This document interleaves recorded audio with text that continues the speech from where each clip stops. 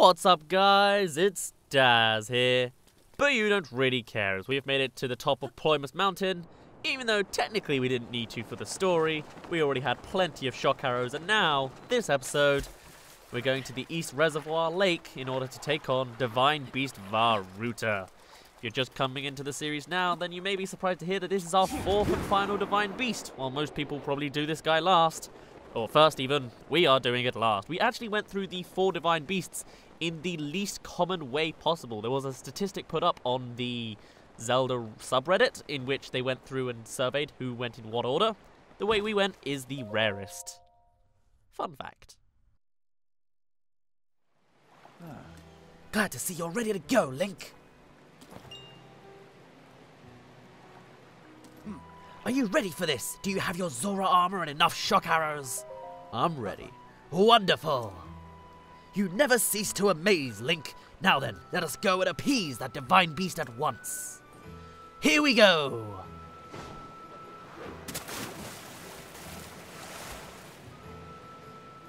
Gaze now upon the divine beast's back.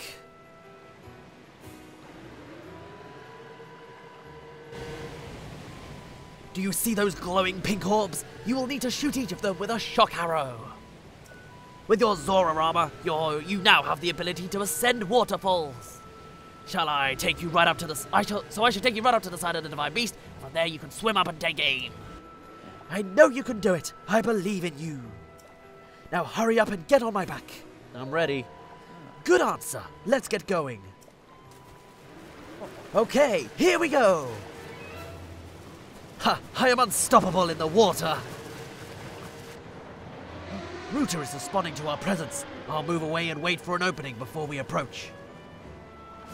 Oh, keep going at full speed. It's up to you to ward off Ruta's attacks. Are you ready? Divine Beast Vah Ruta will undoubtedly use its ancient and mysterious powers against us. That includes hurtling giant ice blocks that we will need to watch out for. I shall leave those to you. Alright, welcome to Divine Beast Vah Ruta. You have a bunch of ice blocks chasing you. You could shoot them down, or you could just use Cryonis yourself to smash them like anything else. Bam! Here we go. Here we go. I keep messing up the guy's voice. I keep forgetting how it sounds because he hasn't spoken in a while. But oh well. Anyway, let's send our way up. And I should probably get out the right weapon. That is my camera. Can I choose? Okay, there we go. I'm a little rusty on a wep. Uh, yeah, buttons apparently. All right, 49 shock arrows. We should be good. Bam. If you're smart enough, you can also do two. For some reason, when you do hit and shoot, it will take you out of the slow motion. And I don't understand why, but it does. There we go. Lovely. Cool. Right. watch that ice. Watch that ice indeed. Now he's got spiky ice balls. These guys won't chase you in the air, they will chase you in the water. Again, you can just do the same thing as you've done before. They're just slightly harder to get after. Also, as you defeat more and more of his little electric reservoirs, I guess, these icy attacks will get faster and faster. So do be aware that that will be a thing for you. Get those shots. Those shock arrows, got them already. And All right, go. Yes. Right. Bam. Glide. Bam. I missed. Hold on. I missed again. Oh, come on. That would have been a flawless run. Oh, damn it. Okay. Oh, we're right by the ice. Hold on. Alright, fine. An extra round, sure. I guess I get to show off all the attacks. Now we've got both ice blocks and ice spikes. Oh, that's what happens when you get hit. I am really doing kind of poorly on this. I did really well with this in my practice file. Like, generally it's supposed to be... Well, I guess it's not that easy of a battle, but it's supposed to be the easiest Divine Beast if it's one of the first. Oh, well. But, but, but, get out of here. Boom. Thank you. Yeah, yeah, you're angry. Any shock arrows? Okay, got the shock arrows ready. We, we never really got rid of them, so... Try this one last time, I guess. Come on, there we go. And...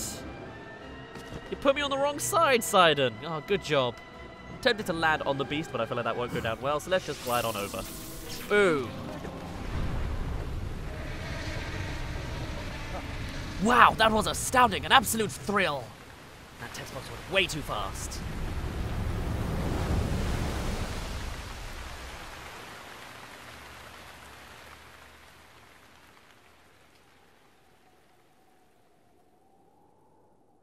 Link, look! The water spouting from Ruta has slowed down. Ruta is floating higher now. You wanted to venture inside it, right? I'll bring you closer. We're counting on you, hero. Do good work in there.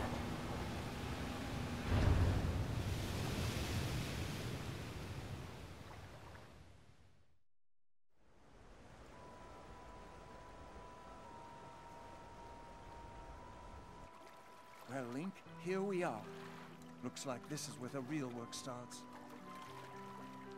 Best of luck.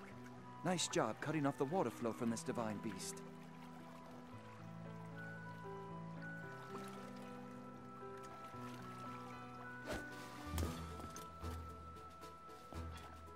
Show the enemy no fear. I'll see you back at Zora's domain. Farewell.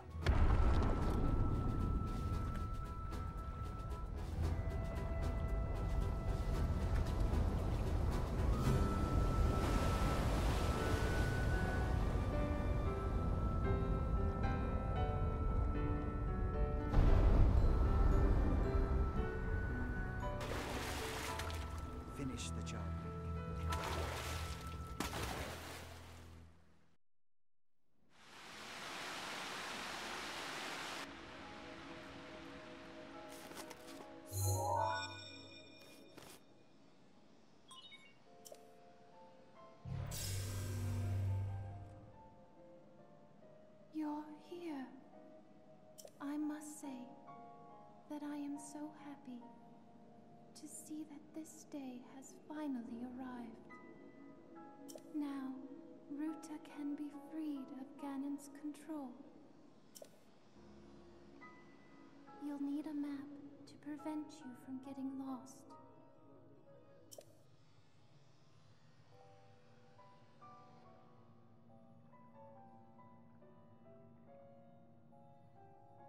The guidance stone there contains the information that you will need. Alright, welcome to Divine Beast Vah Ruta. Now, for once, you don't actually need to go to the back end of it to get a treasure, and really, the view isn't as amazing as pretty much all the others, but that doesn't matter. This is a very basic Divine Beast, and chances are you know how to defeat this beast. Everyone else has completed it, and I'm the last one to ever do it, so we'll try and see if we can get through this nice and quickly. Starting off, there is a scout guarding to the right, which we'll deal with in a minute. But first, let's get rid of the malice in the room. There's also a treasure chest in this very first clump of water, hidden in an extra little lower bit bank that's there for some reason. A nice simple ancient spring. Coolly ooly oolio. Don't know why I said it like that, but I did. Right, Scout Guardians really do go easily now, don't they? Huh. Really just shows how strong Link's gotten over the past. Anyway, next up we need to actually unlock the map for this place, and you need to use a puzzle thing that we haven't really seen since the Great Plateau, really. Lifting up doors using Cryonis. It seems to only ever be used in the Great Plateau and here. It's interesting to me. Anyway, with that, we get to see the big ol' elephant in his full glory. Whilst the Ritos had a bird that moved its wings, the Gerudo had a camel that moved its stomach, and the Gorons had a lizard that moved its entireness. The Zora have a elephant that moves its trunk in like 12 different positions. Actually, I think that's 10, but still. Wow. Good. You've obtained the map of the Divine Beast. You will see several glowing points on your map which represent the terminals that control Ruta. Take Ruta back by activating all of the terminals. Be careful. And yet, in the most basic tutorial Divine Beast, they still don't tell you that you can move the Divine Beast. They never tell you. That's just bad game design. Am I wrong? Even the basic first one doesn't say, by the way, move the trunks and maybe you can do stuff with the terminal. They just don't ever tell you. Really, I don't know why. Did they assume you knew? I mean, the, the only way I found out was just guessing and looking it up in a guide before I realized I could move my first Divine Beast, which was, um, Rudania. Oh well. Anyway, the first uh, terminal can be found by turning this little switchety witch with magnesis. There are four terminals remaining. Don't give up. Cool. Now this guy is very simply just a basic uh, path to go on. Now the door doesn't actually open, or the spinning thing doesn't actually open this door. It's been open the whole time, but it is a region we will be coming to later. It's just a big watery room. There's nothing really in here for us other than the final terminal. Spoilers! We go there for the final terminal. Is that really a big spoiler? Probably not, because you can see it in its design. Anyway, next up we need to go a level up higher. We're no longer dealing with its bowels. We're now going to go up to its stomach, if I have the stamina to get up this thing. There's a couple malice spikes to be concerned about, but they're not really that concerning. There's also this little ridge here. There's no treasure here. That's my way of trying to check it for you. Ooh, a, a Scout Guardian Mark II. Well, he still goes down pretty quickly too.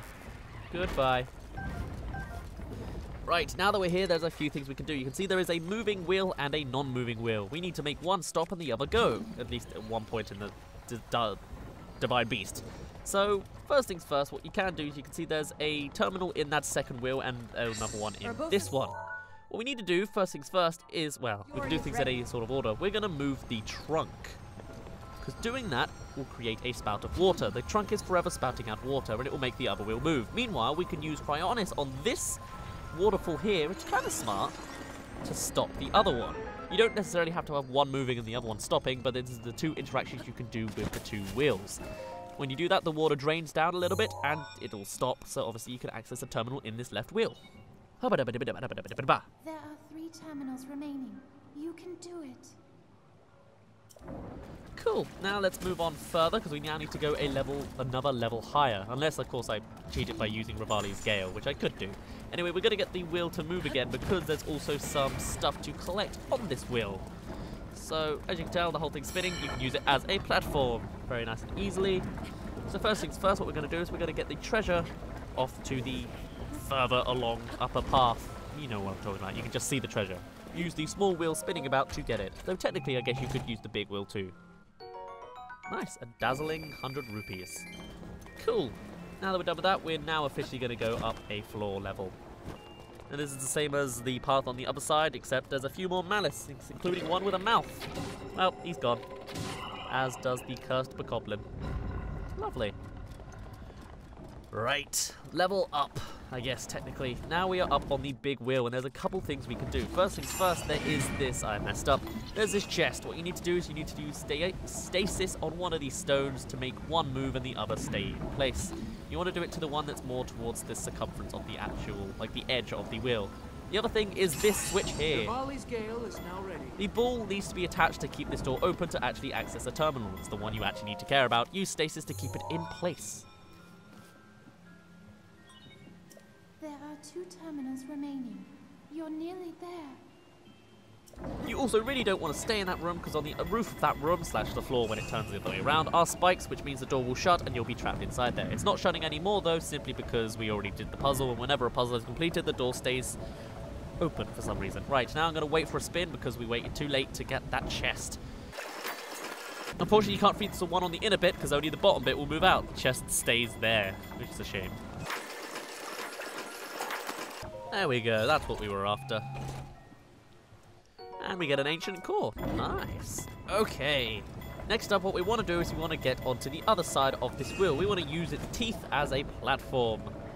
Uh, preferably not the malice one, but I guess that's what we're stuck with. Great. Okay, so there is a treasure chest we can get along one of these teeth. I'm just going to keep flying on over till we get to the right one. That didn't take long at all. There's a malice on one of the teeth. Blow it up, and or at least shoot it down, and you'll get the treasure unlocked.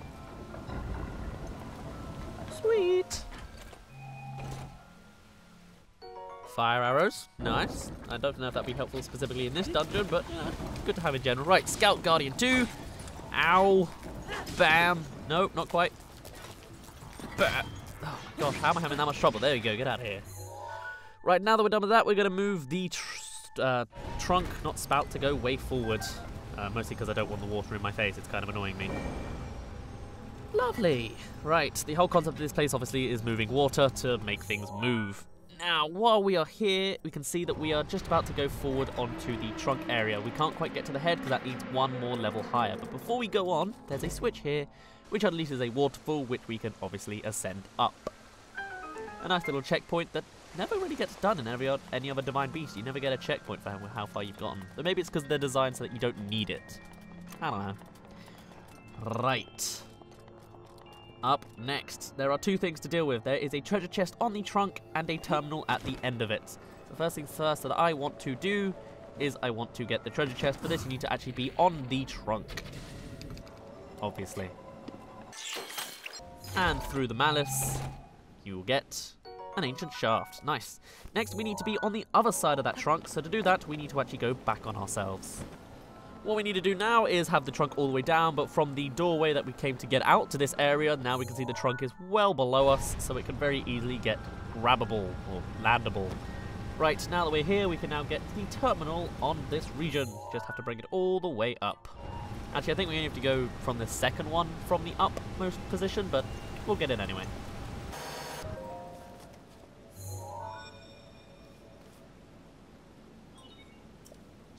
One terminal remaining.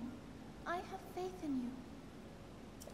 Alright, so for this final one, we need to first of all dive onto the head of the guy. Or actually, we don't need to, but this is how you get the treasure here. So just dive on. The Malice's eye is on the right side, but the treasure is on the left, so. Whoop! I missed. Whoop! I missed. Whoop! There we go. Thank you. Lovely. And that shall get us a what now? That'll get us some ice arrows. Nice. And there's nothing on the other end, sure. So now, if we look on our map, you can see that there is a treasure chest, first of all, in sight, and the terminal inside the head. So what we're going to do, oh, excuse me, is we're going to get on the higher path first, because if we go on the lower path, we have to do it all again. If we go up a level, you can see, first of all, actually, the terminal is surrounded by fire. There's another malice. Oh, good lord, okay. Get out of here. Oh, please. Where's your eye? There you are, on the roof. Bam! Which is helpful because it's actually where we need to go next, to the roof. Cursed Bokoblin, get out! Oh, get out of here, please. Thank you. Right, once again, as we learned from the very beginning of the Divine Beast, we need to use the spinning magnesis technique on this next bit to open the roof. Eventually, if I can just about get this right. Come on. There we go. Right. And then, final thing, we need to move the trunk into the correct position, which is fifth from the top.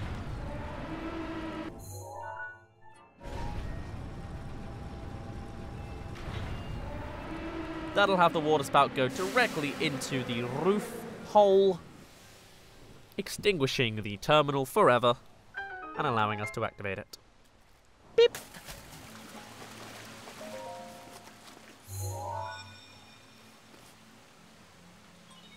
You activated all the terminals. Now you can start the main control unit. There should be a new glowing mark on your map. Head there. Be careful not to let your guard down. Alright. And, of course, don't forget that treasure chest. It's one level lower and on our way back to the main control unit, since the final main control unit is, for some reason, in Ruta's butt. Right, uh, sure, I'll get rid of something for it. Uh... Alright, and all we need to do now is just glide on over to the main area, right at the back of everything. A nice and simple Divine Beast, completed pretty simply too. I think.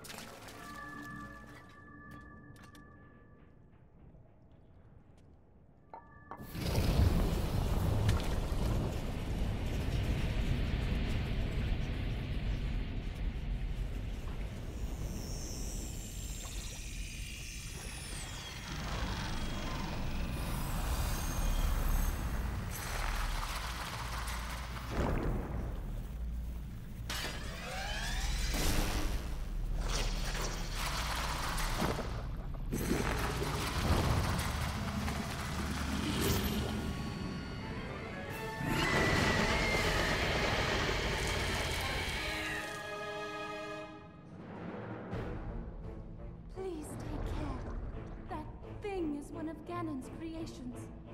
I put up as much of a fight as I could, but it proved to be my demise 100 years.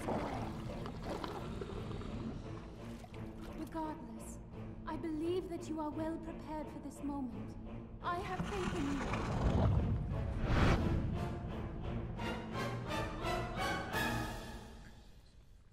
Alright, Waterblight Ganon. He's not too bad. First things first though, I am going to, of course, take off my pants because I'm that good. has a long reach. Right, his spear is a long reach. What you want to really be doing is obviously using your arrows. Let's use shock arrows because they're fitting. But what's really helpful is Cryonis, if I don't mess it up completely. Right, Cryonis is your best friend here because you have a whole lot of water everywhere and you can use them as a barrier for pretty much all of his moves. Just have them set up and that's not growing fast enough. Great. Ooh, I am... strong. Yes, that foe is quite strong. Just... Okay. There... Wow. Are you serious? I could do this no hits in my practice file. But now... You know, my friend had trouble with this boss fight and ended up just hiding behind the main control unit, but that doesn't mean I need to have this trouble too. Alright, fine. Oh, okay, good, we blocked it somehow. Right, so now I've decided to put attack up because I'm a little tired of the mistake you made of me. Right, spear, you just need to run to the side and he's done with. Now aim for his eye and you can get all you want. Dive, there we go, get a nice flurry rush. That just from simple back jumping? Sure, okay. Right, good, good. Now that you're down, bam, bam. I'm gonna go with something a bit more powerful. If I can shoot three at once, that'd be good. If I can shoot three bomb arrows at once, that'd be even better, but I, I don't think that's gonna allow me. Oh no, I think it does. Although it only uses one. Interesting, okay. Right, now that you're up again, I'll prepare my shock arrows. But yes, all you really want to do is shoot at him and dodge his attacks at the same time. His spear, just run to the side and you should be good. His slice, you just do a backflip or just get out of his reach. Him behind the main control unit can work if you're not too defensive that you don't actually attack him at all. Oh, don't run perpendicular, come on. Or do run perpendicular, don't run parallel. Ah, here we go. Here we go. See, that's what I wanted. Just Cryonis everywhere. It makes you feel controlled and powerful and defensible and smart. Bam! Look at me. Right, put another one there. Get out of... Oh, okay, you're gonna move? Sure.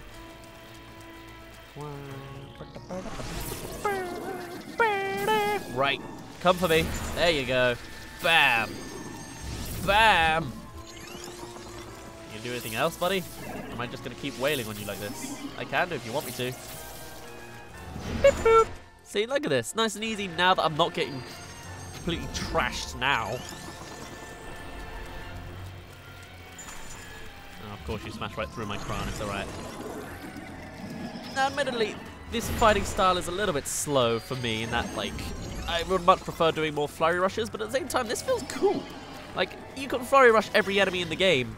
How many enemies can you, like, just do, like, a, a tower defense kind of attack on? It's kind of fun. That's why I like Water Ganon quite a bit, because he's just in the water. It's like, it's your, it's, you can do a whole theming with it all, you know? Right, let's get a final hit with our actual weapon, because I feel like getting my own accolade like that.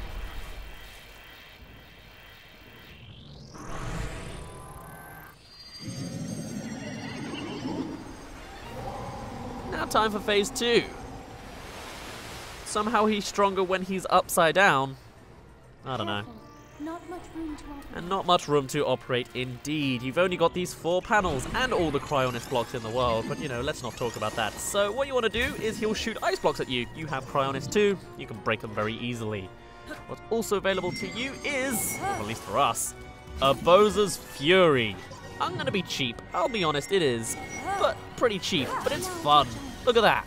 Instantly takes out a ton of health and stuns him right down. And honestly, there isn't much else you can see in this fight other than he's going to use icy attacks and start a laser beam at the end, which we might see, we might not.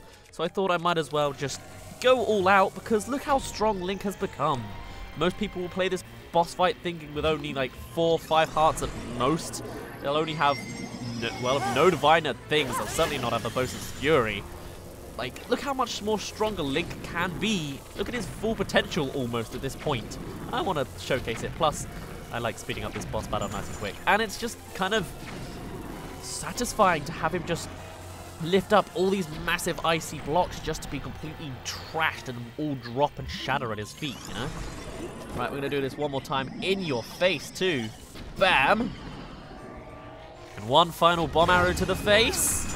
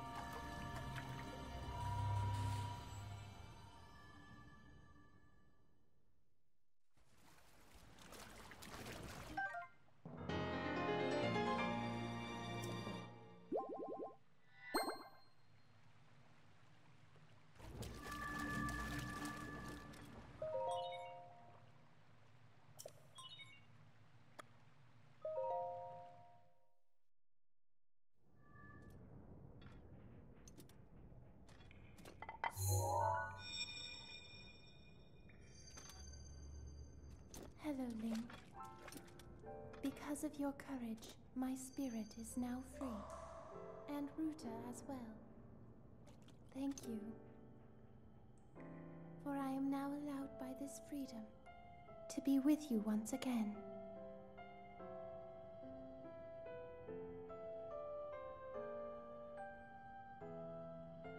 Since I am now a spirit, my healing power would be wasted on me. I have no need of it. So therefore, I would like you to have it.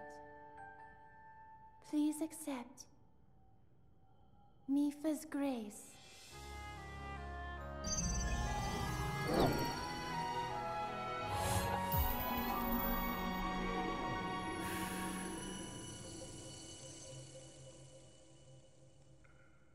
Yesterday, I was awash in a pool of tears. I had nearly given up hope and resigned myself to being trapped here as a spirit for the rest of eternity. But now you're here. All this time, my hope was to see you once more. Promise me that you will not hesitate to call upon my power if you ever find yourself in need. Knowing that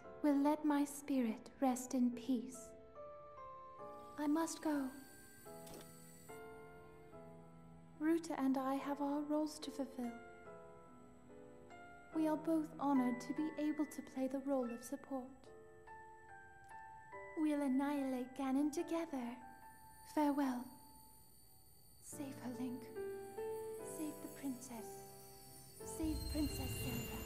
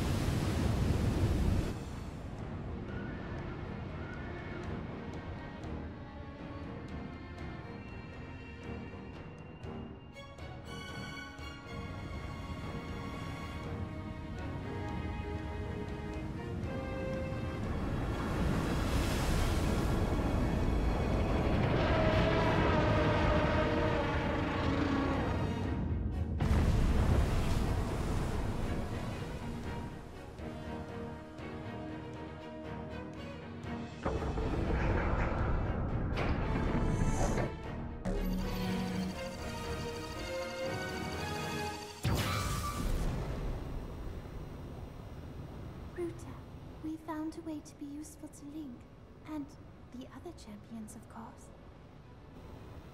Our job will be to help Link as he fights Ganon inside the castle, however we can. Using your ability to drain Ganon of his power is key to our success. This is it. This will be our last chance, and everyone's last hope. If we seal him away, then we can restore peace to Hyrule. And both your duty and mine will be fulfilled.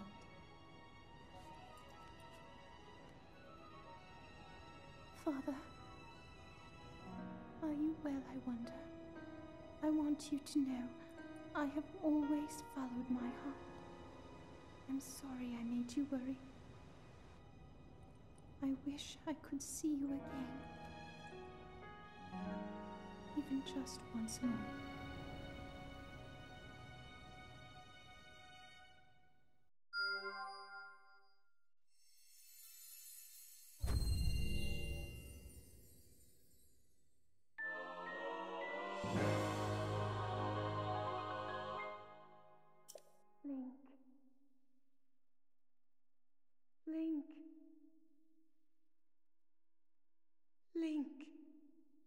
Thanks to you, all of the divine beasts have returned to us, and the spirits of the champions are free. We will all be awaiting your clash with Ganon at Hyrule Castle.